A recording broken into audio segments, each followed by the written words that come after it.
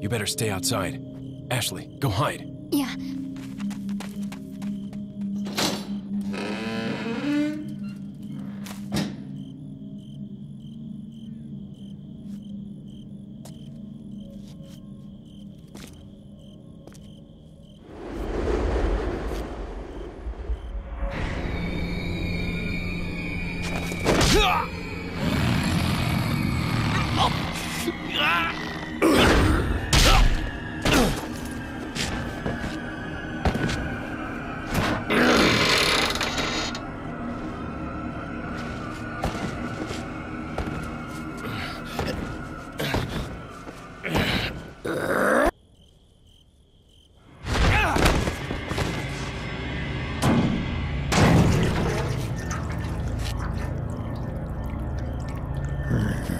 Hasta luego.